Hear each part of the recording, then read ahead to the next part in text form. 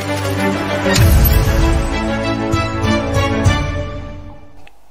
الله الرحمن الرحيم. السلام عليكم. العملة اللي هي 50 جنيه فاروق الإصدار الثالث العملة دي نادرة وجميلة ونعرف الأماكن والبيع والعرض ومزادات وتخش إزاي وتبيع كل شيء. ركز في الفيديو ما تفوتش في حاجة عشان تستفيد وتعرف تبيع إزاي. أرجو الاشتراك في القناة وتفعيل زر الجرس. هنعرف كل شيء نبيع العملات كلها الورقية والمعدنية وكل العملات اللي معاك وأي شيء قديم جديد هتبيعه على المواقع والجروبات اللي أنا هقولك عليها. العملة دي تشتهر ب 50 جنيه فاروق. صدرت بتاريخ 1 11 1 11 1949 تمام؟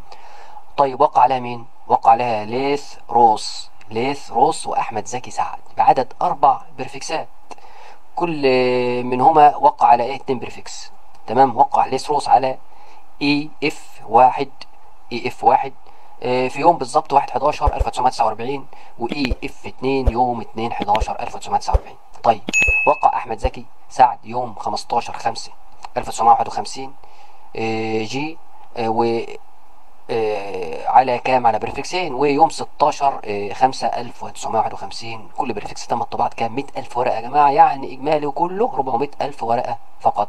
تمام؟ طيب آه العملات دي شوف بنعرف كل شيء فيها حتى اليوم يا جماعة. العملة ده يا جماعة آه سعرها ممكن يبدأ مثلا من إيه؟ ممكن يبدأ من 500 جنيه.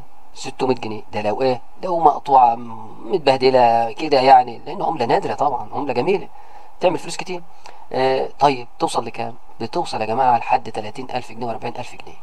وأكتر كمان لو هي بحاله الانصر الانصر يا جماعة والانصر ده طبعا زي ما إحنا عارفين بيرجع لكام سبب.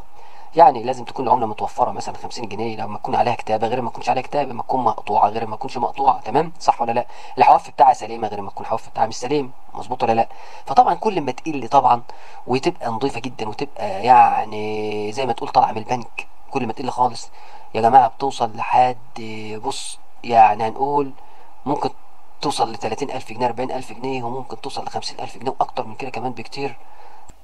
ولازم العملة تكون حالة أنصر لأن حالة الأنصر بتزود العملة 25 30% إنما لما تكون كده بتقل كتير. وإحنا قلنا دايما نحافظ على العملات الورقية عشان نعرف نبيع فين دلوقتي ونعرف كل شيء في ال- الفيديو دهوت على أساس تعرف تبيع إزاي على الأماكن اللي هقولك عليها والكلام من ده. ما تعرضش أسعار ما تعرضش حاجة اعرض بس عملاتك اعرض حاجتك القديمة كلها أي حاجة عندك.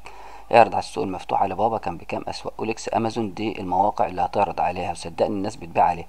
ممكن تنزل الاسواق سوق ديانا بجوار سينما ديانا كل يوم. سبت الاسكندريه كافيه الصيام محطة مصر كل يوم. أربع في طلقة في, المنصورة في الشيخ حسن في, وسط البلد في مصر. لو أنت مش من الأماكن دي اكتب في جوجل اسم شركة فصل للشحن واجي بحري ولو واجي قبل اكتب شركة رابيدو للشحن. وفي group فيكتوريا جميل جدا. العملات النادرة والتذكارية النادرة والطوابع أيضا. وفي group ين تانيين للتقييم والبيع المباشر والمزادات بال Gmail بتاع